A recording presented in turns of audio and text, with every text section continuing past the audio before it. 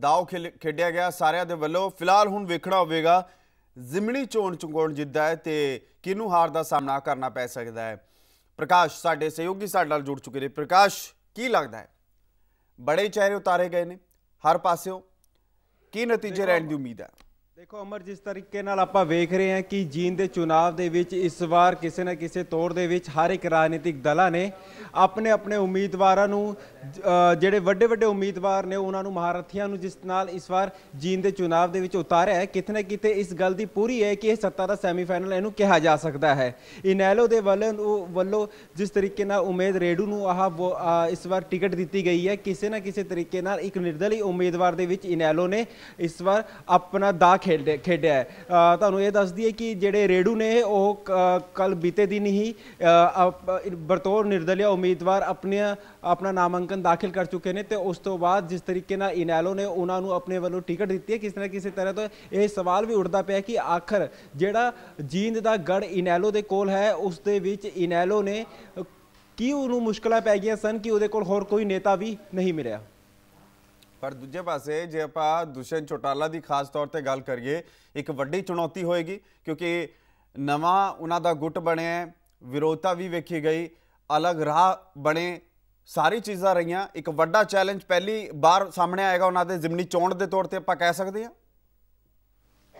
ਬਿਲਕੁਲ ਸਹੀ ਹੈ, ਇਸ ਵਾਰ ਜਿਸ ਤਰੀਕੇ ਨਾਲ ਵੇਖਿਆ ਜਾਵੇ ਤਾਂ ਜੀਨ ਦੇ ਚੁਣਾਵ ਦੇ ਵਿੱਚ, ਕਿਸੇ ਨਾ ਕਿਸੇ ਤੌਰ ਦੇ ਵਿੱਚ ਇੱਕ ਵੱਡਾ ਦਾ ਖੇਡਿਆ ਗਿਆ ਹੈ। ਕੁੱਲ ਮਿਲਾ ਮਿਲਾਕਰ ਇਹ ਹੈ ਕਿ ਜਿੱਥੇ ਬੀਜੇਪੀ ਇਸ ਨੂੰ ਇੱਕ ਤਰਫਾ ਮੈਚ ਦੱਸਦੀ ਪਈ ਸੀ, ਹੁਣ ਜਿਸ ਹਿਸਾਬ ਨਾਲ ਕਾਂਗਰਸ ਨੇ ਰਣਦੀਪ ਸਿੰਘ ਸੁਰਜੇਵਾਲਾ ਨੂੰ ਮੈਦਾਨ ਦੇ ਵਿੱਚ ਉਤਾਰ ਕੇ ਇੱਕ ਜਾੜ ਕੇ ਕਾਰਡ ਖੇਡਿਆ ਹੈ, ਤੇ ਉੱਥੇ ਹੀ ਜੇਜੇਪੀ ਨੇ ਵੀ ਦਿਗਵਿਜੇ ਚੌਟਾਲਾ ਨੂੰ ਇਸ ਵਾਰ ਮੈਦਾਨ ਤੇ ਉਤਾਰ ਕੇ ਜਾੜ ਕਾਰਡ ਖੇਲਿਆ ਯਾਨੀ ਕਿ ਇਸ ਵਾਰ ਇਨੈਲੋ ਕਾਂਗਰਸ ਤੇ ਲਾ ਲਈਏ ਜੇਜੇਪੀ ਤਿੰਨਾਂ ਨੇ ਹੀ ਜਾਟ ਕਾਰਡ ਖੇਲਿਆ ਕਿਉਂਕਿ ਇਹ ਜਾਟ ਲੈਂਡ ਹੈ। ਲਿਹਾਜ਼ਾ ਇਸ ਵਾਰ ਗੈਰ ਜਾਟ ਸਮੁਦਾਇ ਦਾ ਜਾ- ਕਾਰਡ ਖੇਲ ਕੇ ਬੀਜੇਪੀ ਨੇ ਆਪਣੇ ਪੰਜਾਬੀ ਵੋਟਰਾਂ ਦਾ ਇੱਕ ਵਾਰ ਫਿਰ ਭਰੋਸਾ ਜਿੱਤਣ ਵਾਸਤੇ ਕ੍ਰਿਸ਼ਨ ਮਿੱਡਾ ਨੂੰ ਜਿਸ ਤਰੀਕੇ ਨਾਲ ਇਸ ਵਾਰ ਇੱਥੋਂ ਆਪਣਾ ਉਮੀਦਵਾਰ ਐਲਾਨ ਕੀਤਾ ਹੈ, ਇਹਦੇ ਨਾਲ ਜੇ ਦੇਖਿਆ ਜਾਵੇ ਭਾਵੇਂ ਇਹ ਇਹ ਜਿਹੜਾ ਚੋਣ ਹੈ, ਇਹ ਇਹ ਵਿਕਾਸ ਦੇ ਮੁੱਦੇ ਵਿੱਚ ਲੜਿਆ ਜਾ ਰਿਹਾ ਹੋਵੇ, ਲੇਕਿਨ ਕਿਤੇ ਨਾ ਕਿਤੇ ਇਸ ਵਾਰ ਆਹ ਜਿਹੜੀ ਚੁਣਾਵੀ ਜੰਗ ਹੈ, ਇਹ ਕਿਤੇ ਨਾ ਕਿਤੇ ਤੌਰ ਦੇ ਵਿੱਚ ਜਾਟ ਤੇ ਗੈਰ ਜਾਟ ਸਮੁਦਾਇ ਦੇ ਵਿੱਚ ਹੁੰਦੀ ਹੋਈ ਨਜ਼ਰ ਆਉਂਦੀ ਪਈ ਹੈ। ਕੁੱਲ ਮਿਲਾਕਰ ਇਹ ਹੈ ਕਿ ਇਸ ਵਾਰ ਦਾ ਜਿਹੜਾ ਜੀਂਦ ਦਾ ਜਿਹੜਾ ਇਹ ਚੁਣਾਵ ਹੈ ਕਾਫੀ ਰੋਚਕ ਹੁੰਦਾ ਪਿਆ ਹੈ, ਦਿਲਚਸਪ ਹੁੰਦਾ ਪਿਆ ਹੈ। ਵੇਖਣਾ ਇਹ ਹੋਵੇਗਾ ਕਿ ਐਤਕੀ ਵਾਰ ਜੀਂਦ ਦੀ ਇਸ ਜੰਗ ਦੇ ਵਿੱਚ ਕਿਹੜਾ ਮਹਾਰਥੀ ਹੈ, ਜਿਹੜਾ ਬਾਜੀ ਮਾਰਦਾ ਹੈ। ਜਾਤੀ ਕਾਰਡ ਕਹਿ ਸਕਦੇ ਆ ਭਾਜਪਾ ਦੇ ਉਮੀਦਵਾਰ ਨੂੰ ਲੈ ਕੇ, ਕਿਉਂਕਿ ਭਾਜਪਾ ਦੇ ਤੁਸੀਂ ਵੀ ਵੇਖਿਆ ਹੋਣਾ, ਜਦੋਂ ਨਿਗਮ ਚੋਣਾਂ ਹੋਈ ਸੀ ਕਿਤੇ ਨਾ ਕਿਤੇ ਪਾਨੀਪਤ ਜਾਂ ਫਿਰ ਜਮਨਾ ਨਗਰ ਚ, ਜਾਤ ਦੇ ਆਧਾਰ ਤੇ ਇੱਕ ਪੂਰਾ ਸੈਟਲਮੈਂਟ ਕਰਕੇ ਉਮੀਦਵਾਰ ਚੋਣ ਮੈਦਾਨ ਚ ਉਤਾਰੇ ਸੀ ਤੇ ਜਿੱਤ ਵੀ ਉਹਨਾਂ ਨੂੰ ਮਿਲੀ ਸੀ। ਸ਼ਾਇਦ ਉਹੀ ਸੋਚ ਕੇ ਇਹਨਾਂ ਨੇ ਇਹ ਪੈਤਰਾ ਅਪਣਾਇਆ। ਦੇਖੋ ਅਮਰ, ਜਿਸ ਤਰੀਕੇ ਨਾਲ ਆਪਾਂ ਵੇਖਦੇ ਹਾਂ ਕਿ ਹਮੇਸ਼ਾ ਕੋਈ ਨਾ ਕੋਈ ਚੋਣਾਂ ਦੇ ਵਿੱਚ ਵਿਕਾਸ ਦੇ ਮੁੱਦੇ ਜ਼ਰੂਰ ਹੁੰਦੇ ਨੇ। ਲੇਕਿਨ ਆਖਰ ਦੇ ਵਿੱਚ ਜਦੋਂ ਆਖਰੀ ਦਿਨ ਹੁੰਦੇ ਨੇ ਚੁਣਾਵ ਦੇ, ਤਾਂ ਉਸ ਵੇਲੇ ਇਹ ਜਿਹੜੇ ਮੁੱਦੇ ਹੁੰਦੇ ਨੇ, ਇਹ ਕਿਸੇ ਨਾ ਕਿਤੇ ਜਾਤੀਗਤ ਸਮੀਕਰਨਾਂ ਦੇ ਵਿੱਚ ਆ ਕੇ ਰੁਕ ਜਾਂਦੇ ਨੇ। ਕਿਉਂਕਿ ਜਿੱਤ ਹੁੰਦੀ ਹੈ ਤੇ ਜਿੱਤ ਦੇ ਵਾਸਤੇ ਕਿਸੇ ਨਾ ਕਿਸੇ ਤੌਰ ਦੇ ਵਿੱਚ ਭਾਵੇਂ ਸੰਭਾਵਨਾਵਾਂ ਦੇ ਪਟਲ ਦੇ ਵਿੱਚ ਰਾਜਨੀਤੀ ਖੇਡੀ ਜਾਂਦੀ ਹੋਵੇ, ਲੇਕਿਨ ਸਮੀਕਰਨਾਂ ਨੂੰ ਵੀ ਖਾਸਾ ਧਿਆਨ ਰੱਖਿਆ ਜਾਂਦਾ ਹੈ। ਤੇ ਇਹ ਉਹੀ ਜਾਤੀਗਤ ਵੋਟਰਾਂ ਦਾ ਇਹ ਗਣਿਤ ਹੈਗਾ ਜਿਸ ਨੂੰ ਕਾ- ਧਿਆਨ ਦੇ ਵਿੱਚ ਰੱਖਦੇ ਹੋਏ ਐਤਕੀ ਵਾਰ ਸਾਰੇ ਉਮੀਦਵਾਰਾਂ ਨੇ ਆਪਣੇ ਵੱਲੋਂ ਇਹ ਕਾਰਡ ਖੇਡਿਆ ਹੈ। ਲਿਹਾਜ਼ਾ ਇਸ ਵਾਰ ਵੇਖਣਾ ਇਹ ਹੋਵੇਗਾ ਕਿ ਆਖਰ ਕੌਣ ਜੀ ਆਹ ਜੀਂਦ ਦੀ ਜੰਗ ਨੂੰ ਜਿੱਤਦਾ ਹੈ।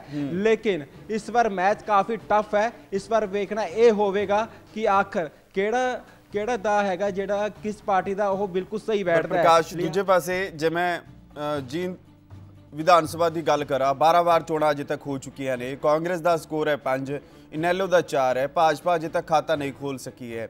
ਤੇ ਕਿਸ ਤਰ੍ਹਾਂ ਦੇਖਿਆ ਜਾਵੇ ਮੁਕਾਬਲਾ, ਕਿ ਇਤਿਹਾਸ ਫਿਰ ਤੋਂ ਦੇਖਿਆ ਜਾ ਸਕਦਾ ਹੈ ਰਿਟੇਨ ਕਰ ਸਕਦੀ ਹੈ ਬਾਕੀ ਪਾਰਟੀਆਂ ਜਾਂ ਫਿਰ ਭਾਜਪਾ ਨੇ ਜਿਹੜਾ ਪੈਤਰਾ ਹੁਣ ਖੇਡਿਆ ਹੈ, ਜਾਤੀਵਾਦ ਦਾ, ਕਹਿ ਸਕਦੇ ਹਾਂ ਕਿ ਕੁਝ ਵੀ ਹੋ ਸਕਦਾ ਹੈ, ਸਾਰੇ ਤਿੰਨੇ ਧੜੇ ਜਿਹੜੇ ਨੇ ਉਹ ਤਕੜੇ ਨੇ? ਦੇਖੋ ਲਗਾਤਾਰ ਇਹ ਕਿਹਾ ਜਾਂਦਾ ਸੀਗਾ ਕਿ ਜਿਹੜਾ ਜੀਂਦ ਹੈ ਪਿਛਲੇ 10 ਸਾਲਾਂ ਤੋਂ ਇਹ ਲਗਾਤਾਰ ਇਨੈਲੋ ਦਾ ਗੜ ਰਿਹਾ ਹੈ। ਉਸ ਤੋਂ ਪਹਿਲਾਂ ਜੇ ਆਪਾਂ ਜਿਹੜੇ ਜਿਵੇਂ ਤੁਸੀਂ ਸਕੋਰ ਦੀ ਗੱਲ ਕੀਤੀ ਹੈ ਕਿ ਪੰਜ ਵਾਰ ਕਾਂਗਰਸ ਤੇ ਚਾਰ ਵਾਰ ਇਨੈਲੋ ਰਹੀ ਹੈ, ਇੱਥੋਂ ਲਗਾਤਾਰ ਇਹ ਉਹਨਾਂ ਦੇ ਸੀਟ ਦੇ ਕਬਜ਼ੇ ਤੇ ਤੇ ਇੱਥੇ ਕਦੇ ਵੀ ਬੀਜੇਪੀ ਨੇ ਅੱਜ ਤੱਕ ਆਪਣਾ ਖਾਤਾ ਨਹੀਂ ਖੋਲਿਆ 12 ਵਾਰ ਵਿਧਾਨ ਸਭਾ ਦੀਆਂ ਚੋਣਾਂ ਹੋਈਆਂ ਨੇ ਤੇ 12 ਵਾਰ ਵ- ਇੱਥੇ ਬੀਜੇਪੀ ਨੇ ਇੱਕ ਵਾਰ ਵੀ ਉਹਨੂੰ ਜਿੱਤ ਨਹੀਂ ਮਿਲੀ।